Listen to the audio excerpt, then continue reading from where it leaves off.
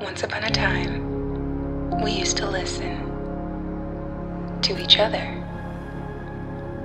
Our pain, our joy, our fears, our hopes, and most importantly, our dreams. But somewhere along the way, we got lost and we forgot how to listen. But don't you worry.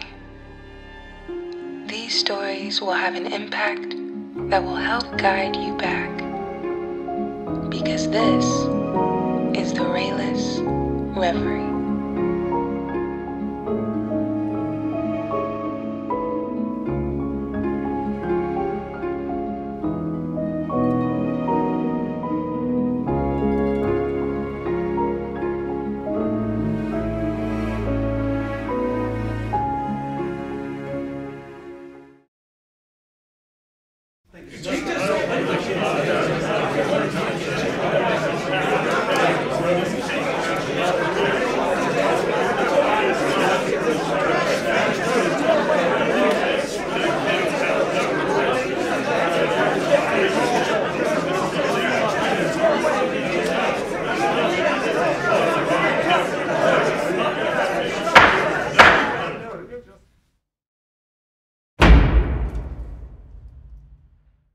Prisoner to the bar, called the clerk of the court.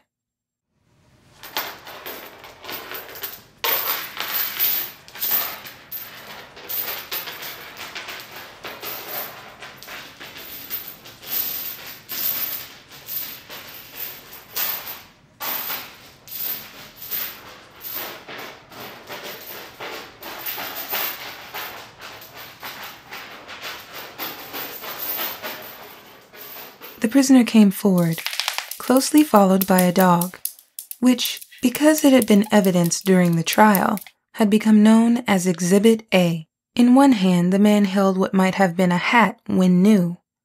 The other hand hung at his side so the dog could reach up and give it an affectionate lick now and then, when the man needed sympathy and encouragement.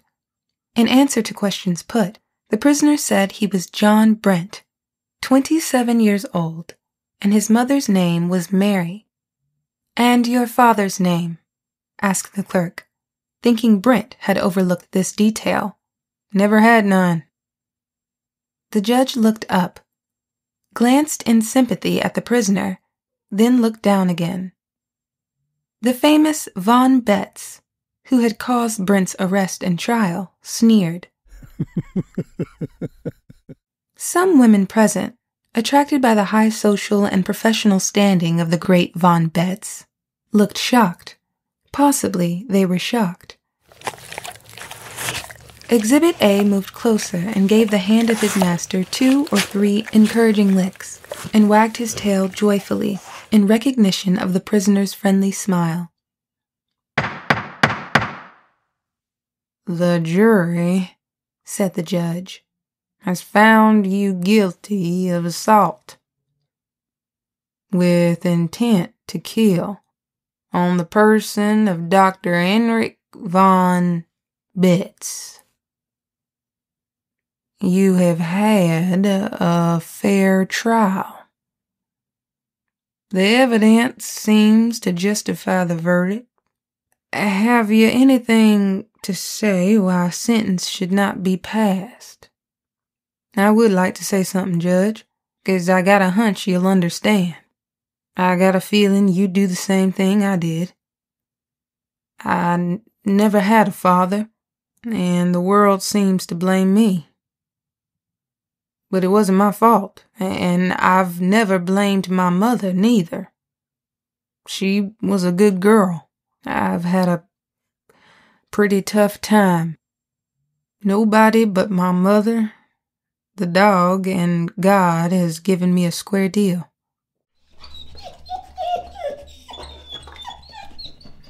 Sometimes God forgot, I guess. The judge leaned forward, interested. The dog licked the prisoner's hand and wagged his tail. Thus encouraged, Brent continued. There ain't a day since my mother died that someone ain't come along and made me feel in the way. Every time I'd get a new start, someone would say I didn't have a father, and back I'd go. I got to thinking I must be a pretty bad man until Yip, the dog, fell in with me three years ago. Guess he saw something in me others didn't. He didn't ask if I had a father. He stuck by me. He starved for me, and I've I've starved for him. Just see how he looks at me, Judge. A dog don't look at a man like that unless he sees some good in all that bad. I pulled Yip out from under a trolley car and went under myself.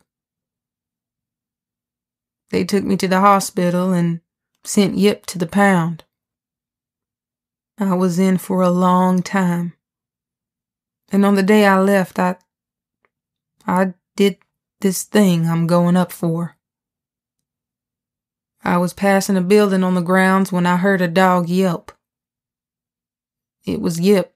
I don't know how I got in, but I did. I don't know exactly what I did when I got in. I guess I didn't come near killing the doctor.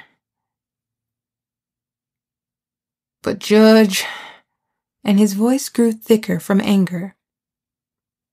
When I got in, I saw Yip stretched out on his back. They had straps pulling his legs one way and his head another way so he couldn't move. All he could do was cry, cry just like a baby that knows he's being hurt, but don't know why. And the doctor, Judge, was standing over Yip and the knife in his hand was all bloody. Go on, said the judge. I ain't got anything more to say except that I want you to send Yip along when you send me away. If you don't, Judge, and the doctor gets Yip and kills him, I'll kill the doctor when I gets out. Because I've got just as much right for killing the doctor as he's got to kill Yip. That's all I got to say, Judge. I know how you feel, Brent, said the judge in a rather husky voice. I've got a dog at home, a dog like Yip, and, and, but duty compels me to sentence you to 10 years at hard labor. And I impose a similar sentence on the dog Yip. Thanks, Judge. Thanks for sending Yip along. You know, Judge, you got a heart. You you got feelings, just like Yip and your dog has. You but in view of the circumstances that provoked the assault, interrupted the judge. I'll suspend your sentence during good behavior. But, but Yip, begged the man without a father. I'll suspend Yip's sentence too, smiled the judge.